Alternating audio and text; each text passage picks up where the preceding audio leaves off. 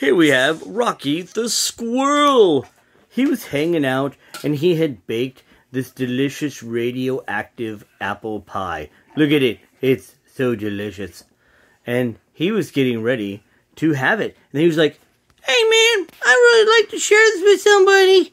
So he looked around and he tried to find somebody to share it with. He saw Peabody! And he was like, Hey, little dog guy, what's your like, hey, hey, little dog guy, what's your name? He's like, I'm Mr. Peabody, and I have a pet kid named Sherman. That pie sure looks delicious. Yeah, it does, doesn't it? I baked it myself. Why don't you come have some pie with me? Oh, that sounds like a grand idea. I'll be right over. Hey, that sounds a great idea. Yeah, come share my pie. That's awesome.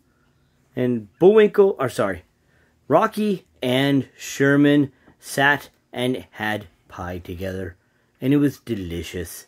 And then they glowed in the dark, and it was crazy. The end.